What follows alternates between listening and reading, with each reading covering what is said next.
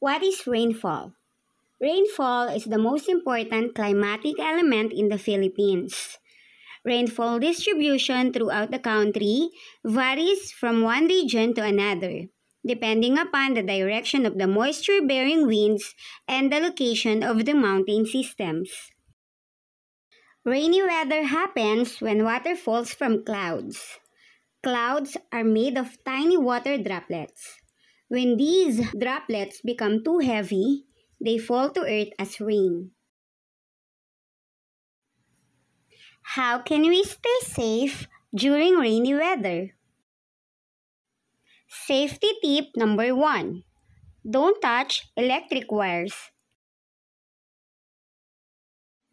Safety tip number two Avoid walking or running in the rain. Safety tip number 3. Unplug electronic appliances. Safety tip number 4. Use umbrella or raincoat in case you really need to go outside. Safety tip number 5.